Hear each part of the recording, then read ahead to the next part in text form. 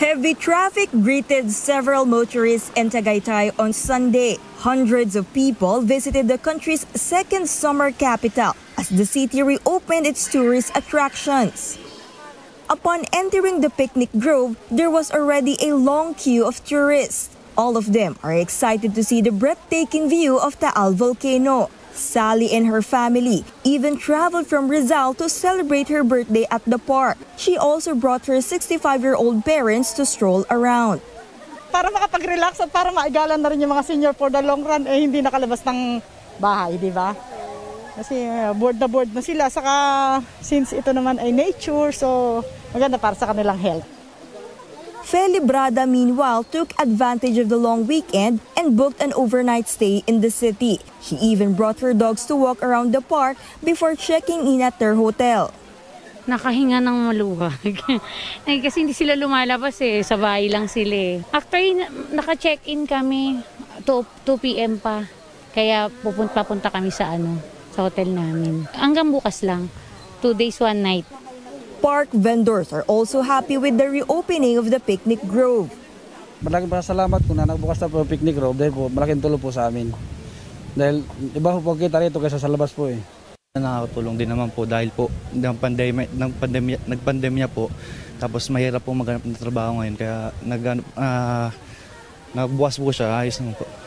Tourists are not required to be fully vaccinated against COVID-19, but children and minors are strictly prohibited. Bringing of food inside the park is allowed, which is why many families are seen eating together in the cottages. Authorities estimate that more than 6,000 people visited the picnic grove on Sunday. Parang nabigla po kami sa dami ng biglang pumasok dito sa picnic grove. Siguro po dahil long weekend, kaya maraming taong pumasok dito. The park management, however, complained of some tourists who are not following the health protocols. Kaya lang dahil sabik sila na makalabas, nakakalungkot na parang hindi na po nila nasusunod yung, pag, yung mga protocols natin, health and safety protocols natin. Pero sa kabila naman po noon, may mga nag, tourist police naman po kami na tumutulong at saka yung mga empleyado namin na miya't miya ay nagpapaalala Since the Tagaytay City remains under COVID-19 Alert Level 3, the Ferris wheel ride is still closed to the public. Other activities that tourists can enjoy, such as horseback riding and zipline, are now open. Tourists going to People's Park, meanwhile, will have to go through a checkpoint. Police and local government personnel are strictly inspecting each vehicle, as minors are still prohibited. Last Wednesday, the LGU ordered the park's closure due to a violation of physical distancing and overcrowding. bawal na pong pumasok ang mga bata. Whenever they come, binibigyan na po ng instruction sa gate kaagad na hindi po allowed ang mga bata sa lahat ng ah, establishments ng ah, city government as well as sa other restaurants and resorts.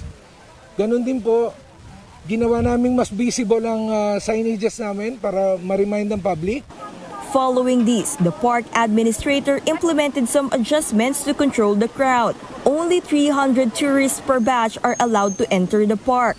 Some tourists, however, complained about the face shield requirement even in an outdoor setting. hindi po masyadong maayos pagka titingin ka ng view, nakakasagabal. Tulad niya, pag lumipad, gagastos ka na naman ulit. Bibili ka na ng face shield. The famous Sky Ranch, several restaurants and hotels are also now open to tourists. For News 5, Camille Samonte, We Are One News.